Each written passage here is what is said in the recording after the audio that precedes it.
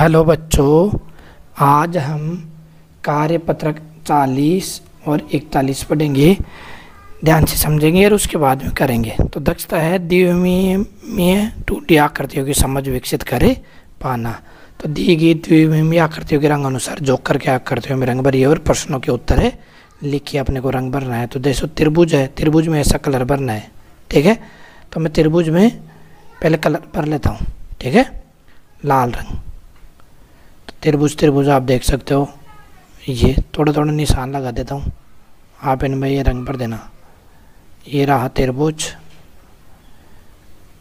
ये रहा, ये भी त्रिभुज है और ये भी त्रिभुज है। ये भी त्रिभुज है, ठीक है? इनमें ये कलर भर लेना, एक त्रिभुज ये गया।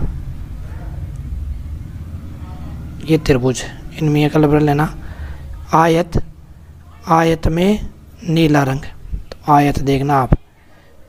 एक तो ये रहा आयत, ठीक है? एक ये रहा आयत, जिसके आमने सामने की बुझाई बराबर हो, ठीक है? जिसकी चार बुझाई समान हो, वो वर्ग हो गया, ये हो गया।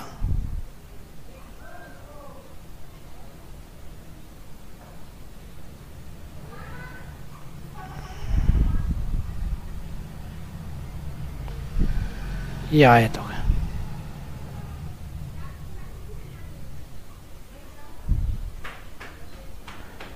इनको पूरा भर देता हूँ। ठीक है बच्चों? अब इसके बाद में है वर्ग। वर्ग में भरना है आपको पीला कलर। वर्ग की देखो, चार भुजाएँ समान है। तो चार भुजाएँ समान एक तो इसकी है। ये छोटे छोटे बॉक्स है इनमें।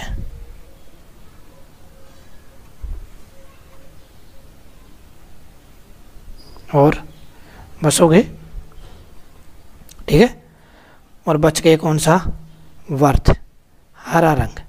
तो देखो ये रहा ये इनमें आपको हरा रंग भर देना है।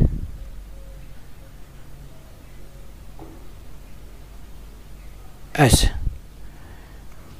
इसमें भी, भी बड़ा सारा वर्थ है ना? इनमें भर देंगे।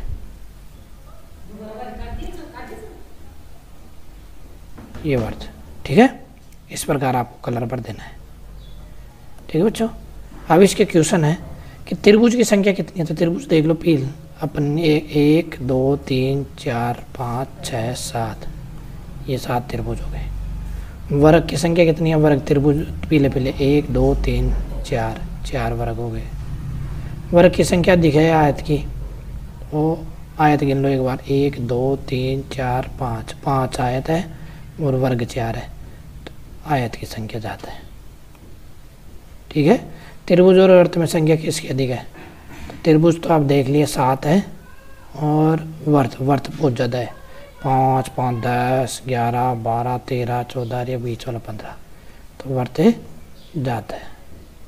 ठीक है?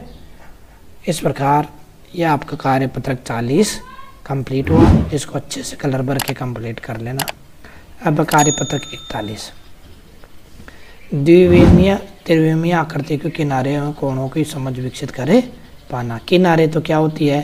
जैसे बॉर्डर ये कमरा है, ठीक है, ये फर्श है तो ये तो हो गया किनारा। और ये कॉर्नर होते हैं, जो कोने हो गए शीर्ष, ठीक है? तो ये बतानी है। तो किनारों की संख्या, जैसे माचिस में, किनारों की संख्या देखना। एक, दो, तीन, चार। चार इधर है, चार ही उधर है, ठीक है? उसके बाद में पाँच, छ। दो इधर दो इधर। तो चार चार, आठ, चार, बारह। बारह किनारे। कॉर्नर कॉर्नर देखो। अलग कलर से बताता हूँ आपको कॉर्नर। एक, दो, तीन, चार, पाँच, छ, सात और एक नीचे वाला आठ। तो आठ कॉर्नर हो गए। ऐसे। शंकु शंकुम की नारुक संख्या कुछ ही नहीं है, आपको ज़ीरो।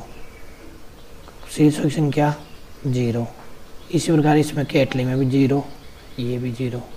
वही में भी कुछ किनारे नहीं दिखाई दे रहे तो ज़ीरो, ये भी ज़ीरो। इसमें किनारों की संख्या देखो।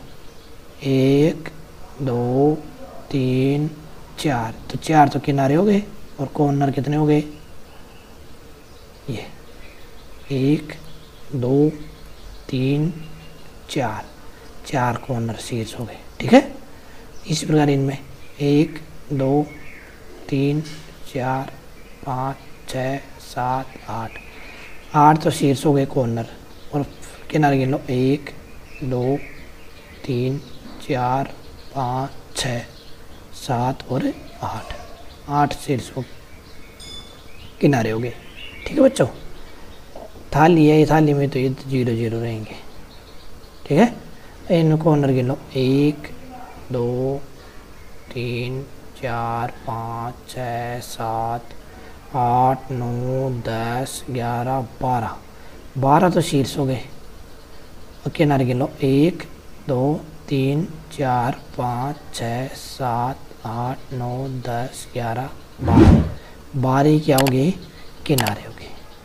इस प्रकार आप कोई सी भी आकृति के किनारे और शीर्ष आसानी से बता सकते हो।